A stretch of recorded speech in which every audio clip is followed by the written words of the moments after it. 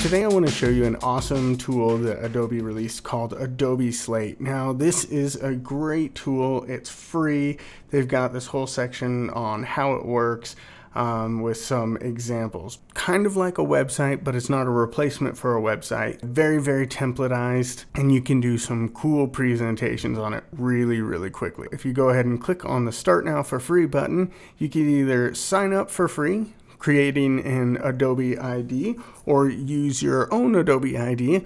Again, a free one. You don't have to be paying for Creative Cloud or anything, or you can log in with Facebook. If you go ahead and log in with Facebook, Adobe Slate will ask for some permissions. It's going to get your public profile and email address, and that's it. It's not going to post to Facebook or do anything crazy like that. So we'll just click OK. Now we can select, yep, I'm in the United States. Click done. I accept the terms, continue, and now I'm all signed in. I think Adobe Slate is a really great tool for people that may not have a ton of design skills or just need to crank out something really fast. So now that we're all logged in, we can click here and create our own story or go ahead and check out some of these examples. Let's go ahead and create our own story. So if we're coming in here and creating something that opens up just like this, we'll go ahead and put our title in. My awesome title. Super great presentation. While that's done, now I can click to add a photo in the back. Now this is where it gets pretty cool. I can either find a file on my computer, I can go through my Creative Cloud, Lightroom, Dropbox, or Google Photos. But this Find Photos thing is kind of nice. So if I click on Find Photos, I can just look up anything like maybe food. Look up food, and I can pick any of these images and put them in the background. Uh, if I want to change it, I just click on the background I can click the focal point and choose where on the image we start looking at. And you can see it's giving me a preview of what it will look like in portrait mode on a phone because this whole thing is responsive. So I'll go ahead and click save on that. I actually don't like this photo, so I'm going to, instead of delete it, I'm gonna just click replace. And instead of food, I'm gonna look up business. Sure, that looks awesome. So now I've got my awesome title right there. So if I start scrolling down, you'll see now I've got this little plus button and I've got all these options. So I'm gonna add text right here. And we're gonna make this centered text um, and start typing, this is the best presentation ever. And if I hit enter, it automatically makes another text box right here where I can start typing whatever I want. If I click on the text, you can see I've got some options where I can change it to a quote, uh, bullet points, a numbered list, I can bold, italic, and then change the alignment. So right here, I want to change this into an H1 tag. So if you know anything about WordPress or HTML actually, uh, this is very, very similar to how WordPress does its formatting. It's just using HTML elements. So an H1 is a header 1 tag. H2 is a header 2 tag. It's a little bit smaller. So those are the options that you have. So not a lot of options here, but there's still the options. And I'm going to just say this is the best presentation because I don't want that word to drop down. Obviously it will change depending on what screen size you're on. Let me go pick up some lorem ipsum bacon.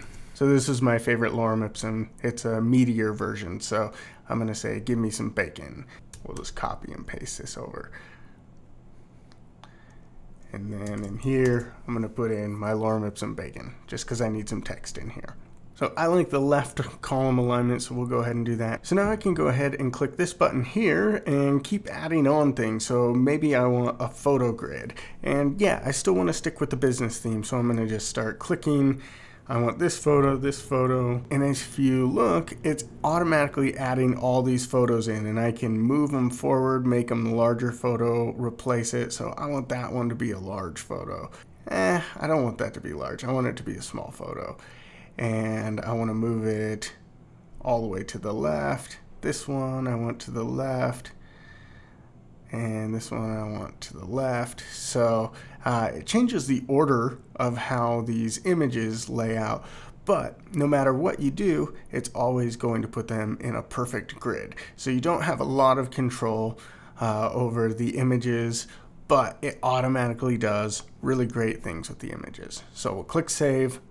Now I've got this image gallery right here. Looks really great. So we'll go ahead and add a link and say, check out my portfolio.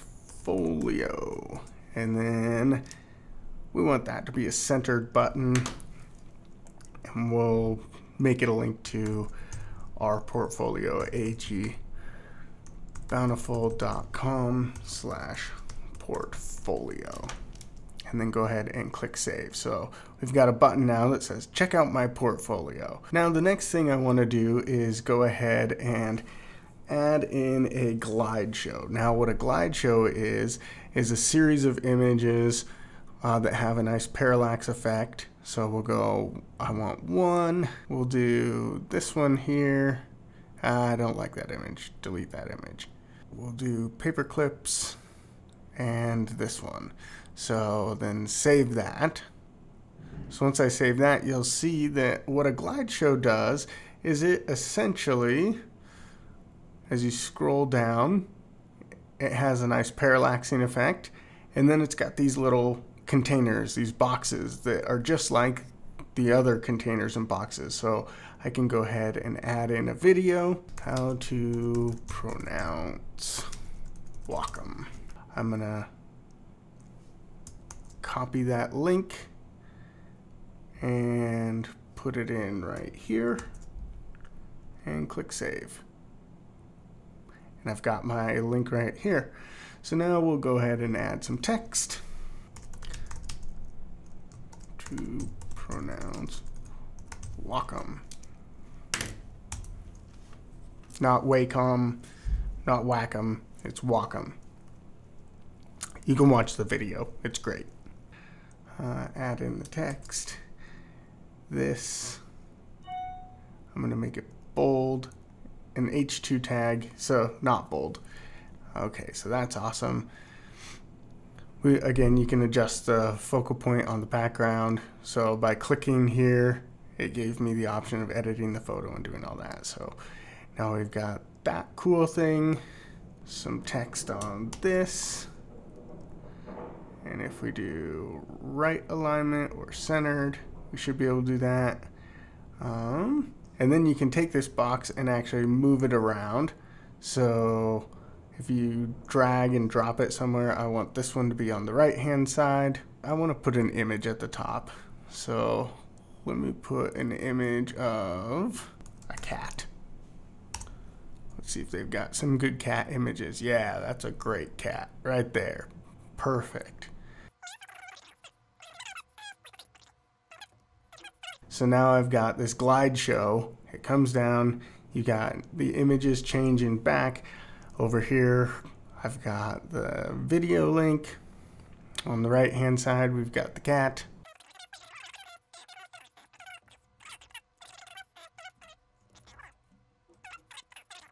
The presentation is done. Now all I need to do, like if I want to do, I can go into the themes, and this is where you don't have a whole lot of options. These are the themes that you've got. You can't change the font, like you just can't change what font it's using or anything like that. You just pick a theme and it goes for it. So we'll go ahead and use this theme here. Automatically applies to everything so you can see all my text is changed and they've paired up the fonts fairly well. So um, no matter what you do, you really can't make something that looks bad. Now if I go ahead and click preview, here is what the presentation will look like. So I can come in here, click on any of these photos and scroll through. I've got my portfolio that if I click on this, it'll take it'll open up the link to the portfolio. Scroll down, we've got our glide share here. So I click that, plays the video full screen. Um, got my cat picture, my other cat picture, and then the video at the bottom, and then this link will obviously open up in a new tab. So uh, then the other thing that Adobe Slate does is if you use that Find Photos section, uh, it will automatically put all of the attribution to any of the photos uh, that you need to attribute to here at the bottom. So you can see these are from public domain pictures and it puts in all the attribution and then it has made with Adobe Slate. If you use your own photos, obviously it won't have that. But they've got a great photo library and as a free resource, all this at the bottom, not a big deal. Just makes a really great looking presentation that works on multiple platforms. So we'll go ahead and close this and then click the share button. So if, when you're ready and you're done with your presentation, you can click share. And if I want to put the attribution in, you can click yes or you can click no. So then you've also got this option here to make it public. So in the public one, it's basically for everyone, but if you take that off, then it's private. So now we can select a category. Um, we'll just say other on this photo credits. You can go ahead and edit any of the photo credits in there if you'd like. They automatically credited the people, so don't delete those. But if you're using other photos that you need to credit, this is where you would put those. And then if I click publish, it'll go through this little loading process. Now I can send this link to anybody. I can embed it on a website. Now what the embed does all it does is it puts a thumbnail of your very first slide with my awesome title or whatever over the top of it. Uh, and it's a clickable link that then takes you to this link. And then you can email it, tweet it, or share it on Facebook. But everything basically takes you to this link. So then if you go to this link, it loads up and you have the presentation. Now, one of the things uh, is here at the top. It does say Adobe Slate, create your own. But for the most part, this is a really, really great tool. Oh, and let me show you one more thing. Um, let's go back into Adobe Slate. Let's say I want to change some things. So if we take this text, I can drag it to the top and it's automatically going to snap to one of nine positions. So you've got these nine different positions and you can see that background automatically changes that shadow so your text will always be really good and visible no matter what you do. Then if you make any changes you just click share again, click publish and it will update everything.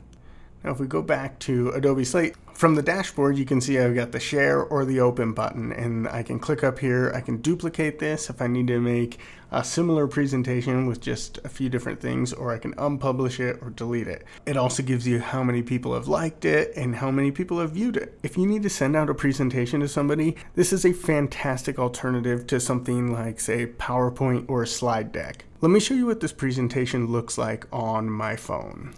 Alright, so on my phone I got the email and if I just click this link, it loads up really quick and now I've got this my awesome title. This is my presentation. I can click on any of these links and I can swipe through the photos. Go ahead and close that, click the portfolio. It's just super smooth. If I click on the video, it, that pops up and I can play the video. We'll go ahead and close that keep scrolling down, you can see the transitions are like really nice and smooth. And then you got all the attributions and stuff at the bottom. But yeah, this is just really, really a fantastic tool that is free. I'm not sure exactly what Adobe's planning on doing with all of this stuff, but for now, just go ahead and sign in through Facebook or whatever free Adobe ID you create. You don't have to pay anything to have access to this. I hope you found this useful. This is definitely not a replacement for a website, but it is a replacement for any sort of presentation. Maybe a presentation for school or a presentation to a client or something like that. This is an easy way to create something really fast that's high quality and works across devices. Hey, thanks for watching and we'd love to hear your feedback, whether it's positive or negative, so we can continue to improve our channel. And as always, like, comment, and subscribe.